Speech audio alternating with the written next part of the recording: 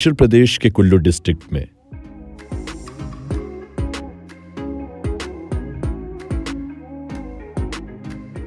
जी भी, आपके वेकेशन के लिए एक परफेक्ट डेस्टिनेशन है, जिसे और भी खास बनाते हैं। यहाँ के बहुत ही खूबसूरत नज़ारे, यहाँ की एंशियंट आर्किटेक्चरल बिल्डिंग्स और यहाँ का रिच ट्रेडिशनल कल्चर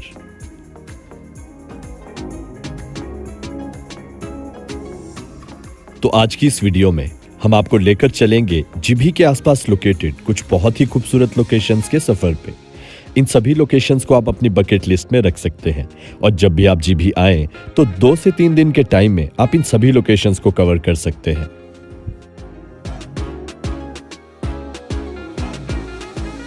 जीभी एक ऐसी डेस्टिनेशन है, जिसे वो लोग अपनी वेकेशन के लिए चूज़ कर सकते हैं, जो कि सिटी लाइफ की हसल बसल से दूर, एक शांत और ऑफ़ बीट एक्सपीरियंस लेना चाहते हैं। ऑल दो जीबी में आपको बहुत सारी मॉडर्न फैसिलिटीज़ देखने को तो नहीं मिलेगी बट सभी बेसिक फैसिलिटीज़ यहाँ पर रेडिली अवेलेबल है।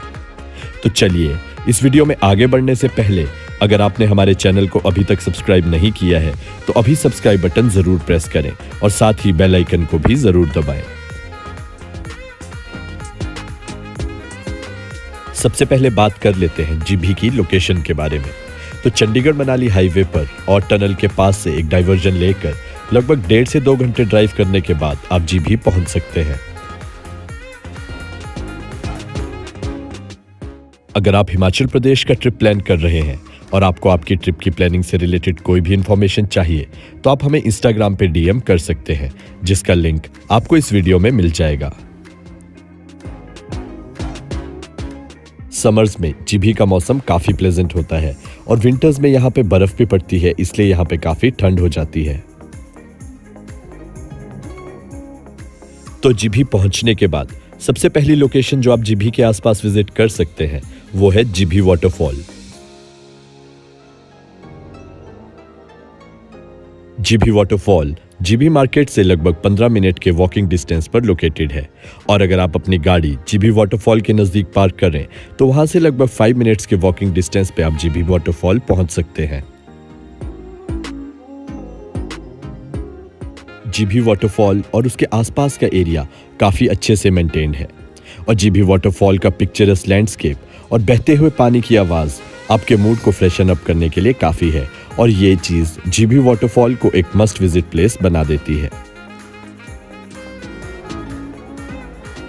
जलोड़ी पास नेक्स्ट डेस्टिनेशन है जो आप जीबी के नियर बाय विज़िट कर सकते हैं।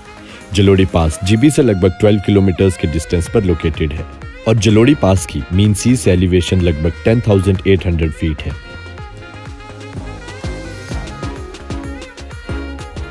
जलोड़ी पास के टॉप पर महाकाली का एक बहुत ही खूबसूरत मंदिर भी है जिसे आप ज़रूर विज़िट करें। जलोड़ी पास बहुत से खूबसूरत शॉर्ट ट्रैक्स का बेस पॉइंट भी है। तो जलोड़ी पास को विज़िट करने के बाद जो अगली लोकेशन आप विज़िट कर सकते हैं वो है सिरुलसर लेक जलोड़ी पास से सिरुलसर लेक का पाँच किलोमीटर का ट्रैक एक इजी ट्रैक है, जिसे आप फॉरेस्ट हाइक भी बोल सकते हैं, क्योंकि छोटी मोटी चढ़ाई और उतराई को छोड़कर इसका मैक्सिमम रास्ता एक स्ट्रेट रोड है। सिरुलसर लेक के ट्रैक के लिए आपको लगभग दो घंटे लगेंगे, और दो घंटे पैदल चलने के बाद जब आप इस खूबसूरत लोकेशन पर पहुँचेंगे तो आपको आपका पैदल चलना टोटली जस्टिफाइड लगेगा। यहाँ पर एक आभी नाम की चिड़िया होती है, जो इस लेक को साफ़ सुथरा रखने का काम करती है। तो यहाँ पर अगर एक पेड़ का पत्ता भी आकर गिर जाए तो ये चिड़िया इस पत्ते को उठाकर ले जाती है और आपको देखने को मिलता है सिरोलसर लेक का crystal clear water. Serolsar lake के किनारे पर बूढ़ी नागिन देवी का मंदिर भी है और सिरोलसर लेक को बूढ़ी नागिन जी का पवित्र स्थल माना जाता है। जलोड़ी पास की एक ओर से रास्ता जाता है सिरुलसर लेक के लिए तो दूसरी ओर से रास्ता जाता है रघुपुर गढ़ के लिए। तो जीभी के आसपास जो अगली लोकेशन आप विज़िट कर सकते हैं, वो है रघुपुर गढ़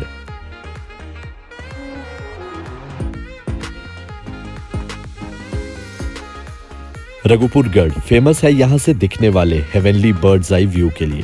रघुपुर गढ़ से हमें हिमालय की सौ से भी ज़्यादा ऊँची ऊँची पहाड़ियों का बहुत ही खूबसूरत नज़ारा देखने को मिलता है।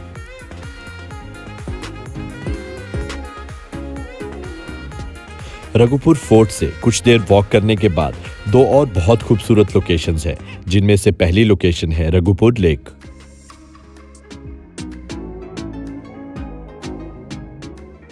घने जंगलों और लश ग्रीन लॉन्स के बीच में बसी हुई ये लेक एक बहुत ही पिक्चरस लैंडस्केप लगता है। आप जब इस रीजन में आएँगे तो आपको यहाँ के लोकल लोगों का लाइफस्टाइल देखने का मौका भी मिलेगा। जो आपको इस जगह को और करीब से जानने का मौका देता है। रघुपुर लेक से कुछ मिनट और पैदल चलने के बाद आप एक और खूबसूरत लोकेशन पर पहुँच जाएँगे, जिसका नाम है पांडुरोपा। पांडुरोपा की यह मान्यता है कि यहाँ पर पांडवों द्वारा लगाया गया धान कभी नहीं पकता और यह हमेशा हरा ही रहता है। यहाँ के मार्शी लैंड पर जब आप चलेंगे तो आपको किसी स्पॉन्जी चीज़ पर चलने का एहसास होगा और ये एक्सपीरियंस अपने आप में एक बहुत ही खूबसूरत एक्सपीरियंस है।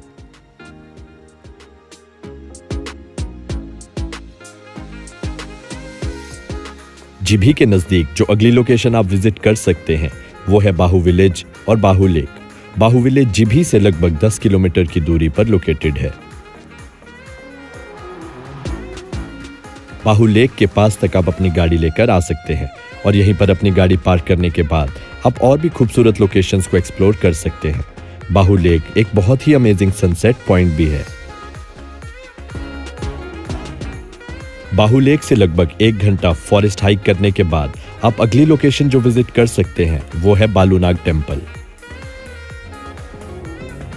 बालूनाग जी का प्राचीन मंदिर देवदार के घने पेड़ों के बीच में बसा है। और यहाँ का लैंडस्केप आपको किसी वॉलपेपर से कम नहीं लगेगा। बाहू से बालूनाग तक का पैदल रास्ता एक स्ट्रेट रोड ही है। तो अगर आपको ज़्यादा चलने की आदत भी नहीं है तो भी आप इस लोकेशन पर इजीली पहुँच सकते हैं।